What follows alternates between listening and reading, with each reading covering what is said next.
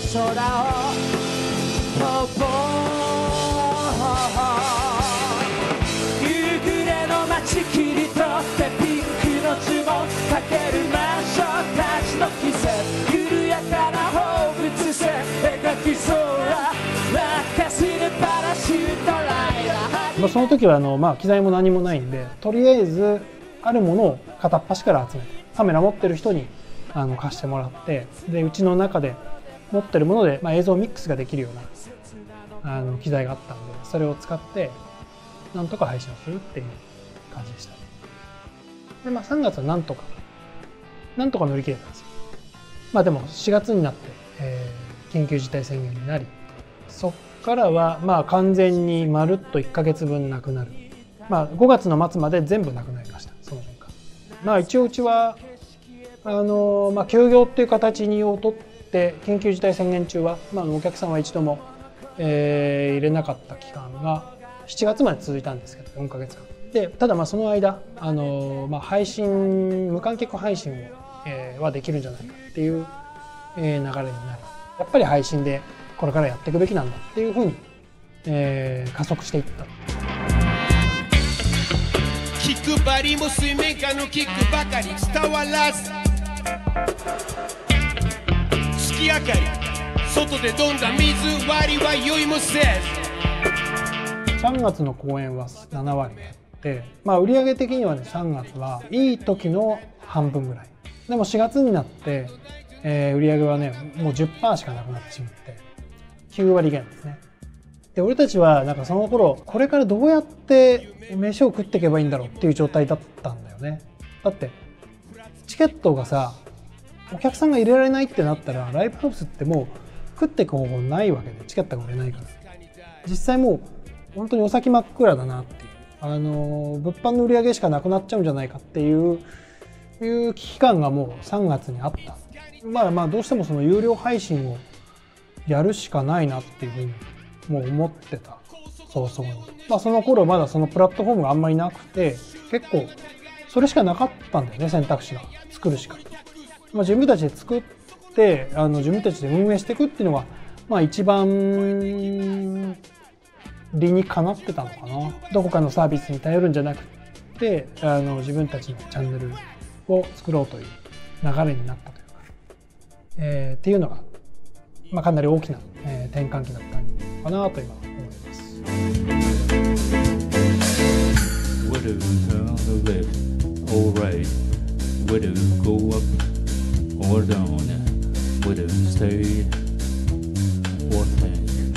まあ、うちそのこの流れの中会場の改装をしてるわけですね。もう本当に最初は冗談半分でこれクレーン入れたいんだけどっていう話を俺がし始めまして、えーもちろんまあただのね笑い話だったんですよ最初は。ただまあそれをどういうものだったら入るんだろうっていうのを本当にまあまだ、ね、実現するかどうか分かんない状態で結構あの闇雲にいろんなところを探して。国内には全く売ってるところもなくて実はいろんな国にこう国際電話して話を聞いたりしてででも結構絶望しててわどこにもねえじゃんもうどこも作ってないのかもみたいになったら割と簡単に中国の販売サイトアリババに言ってたんね確かね。で直接結果的に輸入をしたっていう状態になりました。この際もう改装して換気もいい箱にしちゃった方がまあこれからのね、まあ、コロナで変わったあの音楽業界、まあ、世の中のニーズに、まあ、本気で対応していくことができるんじゃないかなっていう、えー結論に達しまして。まあ今だみたいな。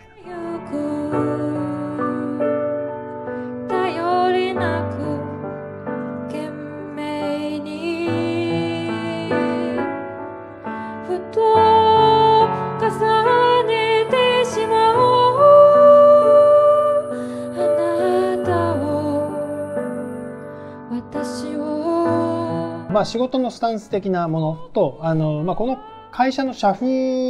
にもねあのなってくるんですけど結構その逆境になって燃えるみたいなところがもうそもそもあって、まあ、弱小のねライブハウスなんですよ。音楽業界では。小さいなんかやってるんで、まあ、そのメインストリームじゃなくって俺たちは俺たちなりにいかにあのこうコアなことを発信していくかみたいなところにやっぱ面白みを感じながらやってるっていうのがあるので、まあ、僕自身はね結構逆転の発想を常にあのしようと思ってやってるんですけど、まあ、それはもう本当に結構自分の、えースタンスだし自分の一番得意分野かもしれないんだけど、まあ、常にこうここに、まあ、ありえないものがあったらエキサイティングだなとかそういうことをあの割と常々考えていて。だからまあクレーンも本当にそうだしクレーンとかあったらありえなくない？みたいな。最初もうなんだそれ？みたいな。笑える？みたいな、うん、だからまあ今年の動きっていうのは本当に正解だったし。それが今つながっていて改めてなんかこの、えー会場が面白くなっていく。これからもなんかそういうスタンスでやっていけばいいんだなっていうふうに今思っているかな。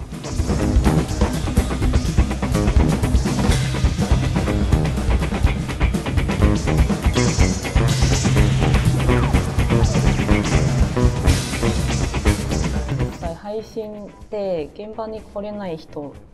が見てるの場合が多い。で何ももう実際現場にいて感じられたものと遠距離で画面越しで見えるものだいぶ差があると思う。実際体験した環境から A しか見えないっていうこういうあの変換の途中でロスしたものをどういうふうに別の形でみんなもう一回体験させるっていう、まあ、考え方。でお客さんも普段感じられない目線も感じさせたいなっていうことで、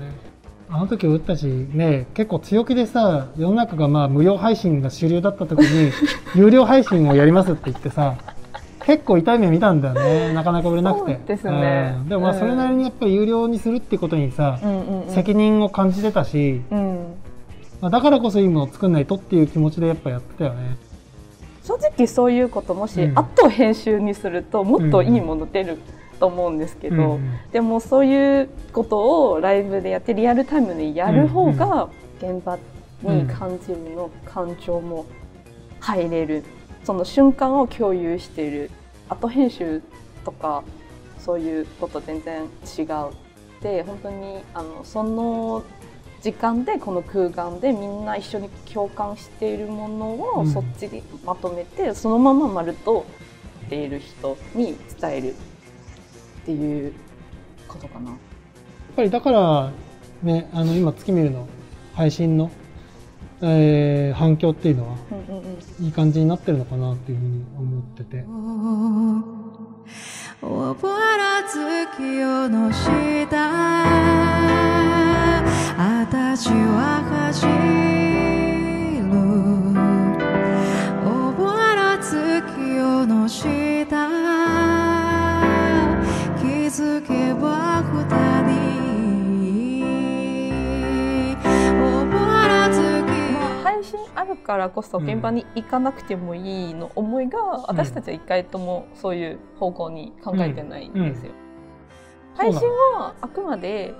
もう一個別のアングルを提供してあそうこういう感じこういう伝え方もありますよ、それを提供しているだけなので。そうテレビでやってるライブ配信が一番違うのはライブハウスの方が圧倒的な距離感が近い。もう本当に実験場みたいな。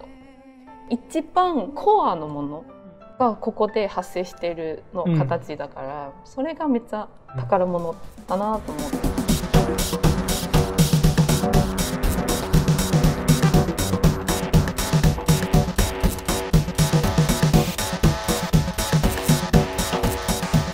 できるだけ空気感をやっぱり持たせ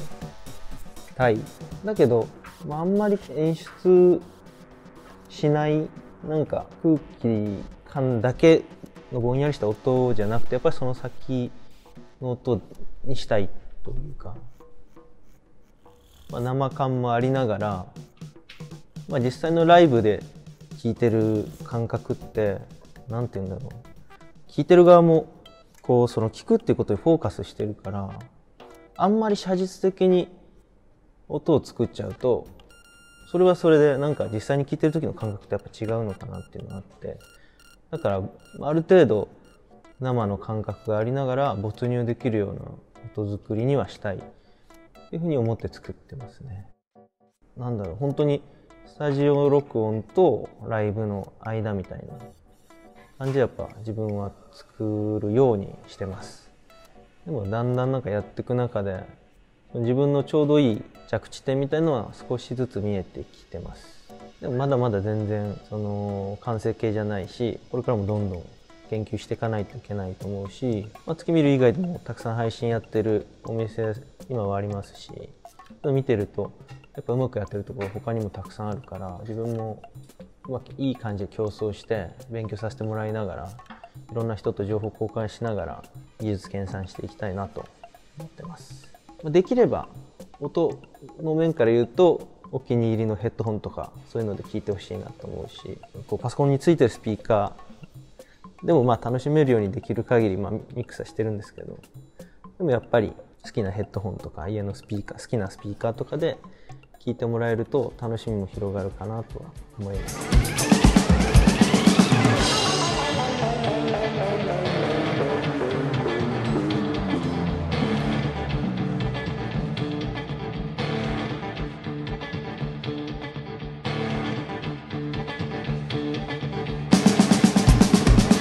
あ、今年はあの、まあ、コロナに戦いながら配信というものを中心にやってきたけどお客さんを入れながら配信をやっていくっていう流れは多分来年も変わらないと思っていて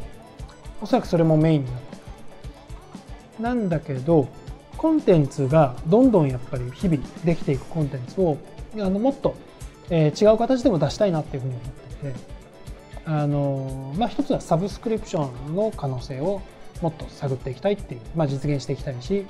まあ、そういう計画があるっていうこととで絶対に必要だと思ってるのは海外への展開。あの今の日本の配信のマーケットは、まあ、99.9%国内に収まってる状態。でこれだけいろんな魅力的な配信がたくさんあるのに海外に発信できてないって本当にもったいないと思っていて、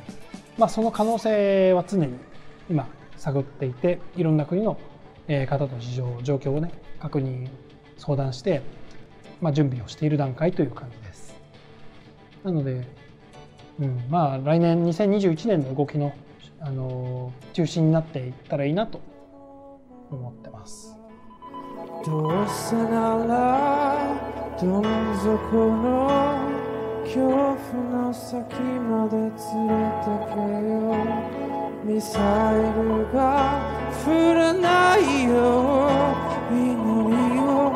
hikayet edemiyorum.